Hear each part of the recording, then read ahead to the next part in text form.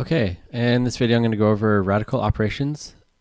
And what I mean by that is like um, adding subtracting radicals and multiplying dividing radicals. So let me start off with an example here. Let's try negative 3 root 12, say plus, I don't know, 4 root 75. So we can't really add these right together. Um, this is this would be very similar to the idea of you can't go 3x plus 4y equals positive 1 xy or something like that. That's just not a thing. We can't do that. We can only in math we only add things that are we, what we would say are like quantities. So to get like quantities, like quantities, we're going to try to get these radicals into uh, simpler forms, and perhaps they share the same radicand. So root 12 I know is uh, root 4 times root 3. And root 75 would be root 25 times root 3. So negative 3 times uh, square root of 4 is negative 6 root 3. And square root of 25 is 5, so this is 20 root 3. And now we have the like radicals, and we can add these. So negative 6 plus 20, that is 14 root 3. Okay, let's try another one. So we'll do, say, 4 cube root of 16 plus 3 times the cube root of 54. Okay, now instead of looking for perfect squares as factors in a radicand, we're going to look for perfect cubes. So I think in where here we have the cube root of 8 times the cube root of 2. And 54, um, I think that must be, oh, if we have 54, we get 27. So this is 3 times the cube root of 27 times the cube root of 2. Um, so this is 8 cube root 2. And this is uh, 3 times, this is 9 cube root 2. And we can add these together now. So that's uh, 17 cube root 2. Okay, let's try something else, something slightly different. Let's do square root of 20x, uh, let's do x squared y. Oops, that's supposed to be a square. And from that, we will subtract 2 times the square root of 45 y to the power 3. Okay, so we're trying to find perfect squares in here. So uh, this is the same as root 4 times root x squared times root 5y. So I factored out two perfect squares from that term. And in this one, we get uh, 45, that'd be 9. So this is a square root of a 9.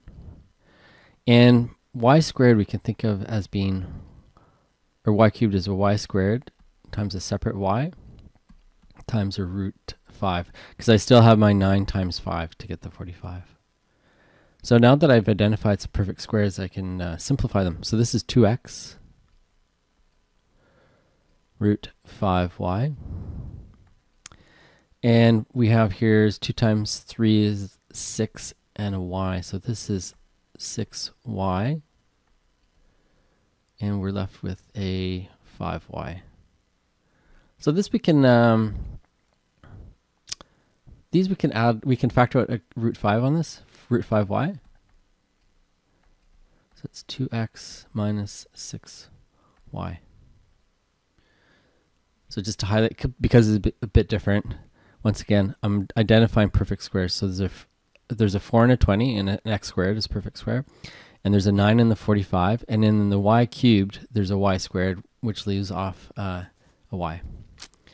Okay, so that's adding and subtracting square roots, or radicals. Let's do a couple multiplication. Okay, let's try um, negative 3 root 2x times 4 root 3x. Oh, so what we'll do is we're just going to do, I'm going to do some regrouping here. So, and reordering. So I got a negative 3. I have a 4. I have a square root x and a square rooted. I have a square x from there. I have a square root of an x there, and then that leaves me with a 2 times 3. So that gives me negative 12, and then root, root x times square root of x is x. So there you go, simplified. Let's try another one. Let's use the distributive property at this time. So we'll have, um, say, 2 root 3 minus 3 root 2, and then we'll multiply that by number, another binomial. Let's do a 2 root 3 plus root 2. Okay, let's FOIL this. So this is what we're looking to do, multiplying everything by everything. So I get 2 root 3 times 2 root 3 plus 2 root 3 times root 2 minus 3 root 2 times 2 root 3 minus 3 root 2. I'm Going to run out of space there, times root 2. Alrighty, so this is, it's 4 times 3, so that's a 12. This is a 2 root 6. Um, root 2, that's a negative 6 root 6.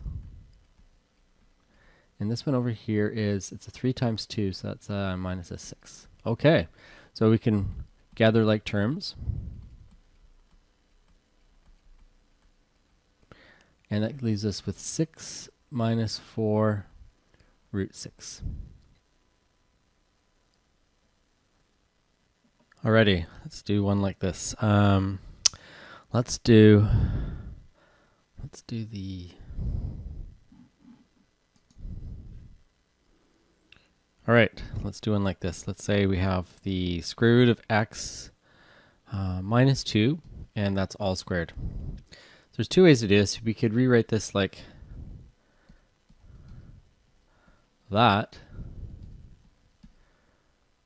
And I'll continue. One thing to note is this is not equal to uh, square root of x all squared minus 2 all squared. That's not a thing. Okay, let's do this. So square root of x times square root of x is x. Uh, square root of x minus 2 is this. And then doing these two, that's minus 2 square root of x again, and then plus 2 squared. And we get x minus 4 root x plus 4.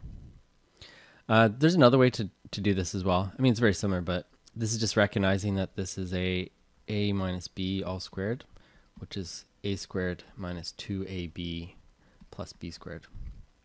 So where a is the, oops, where a is the square root of x and b is the 2. So um, just going directly from this pattern, then that that is our x. This is um, negative 2 times 2, so negative 4 root x, and that's a plus 4. All right, let's try one more, I guess. Why not, right? It's fun. Root 3 minus root 5. Multiply that by root 15 plus root 5. I think there's a few ways to do this. Um, I think I think I'm going to rewrite this with uh, uh, no. I'll just keep it like this. Okay, so I get a root 45. I have a uh, plus root 15. This is a minus, uh, whoa, what is that, 5? That's 75 minus root 75. And that's a minus root 25. So this, I'm pretty sure we can simplify a little bit. Um, this is root 9 times 5. That's just 15. This is root 25 times 3. That's minus 5. Let's do a little bit more work on this. This is a 3 root 5. Do we have it? Okay, that's, yep.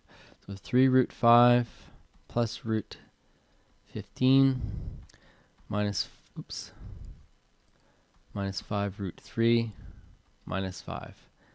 I think that's as good as you're going to get this. It can't be simplified anymore. All right, there you go.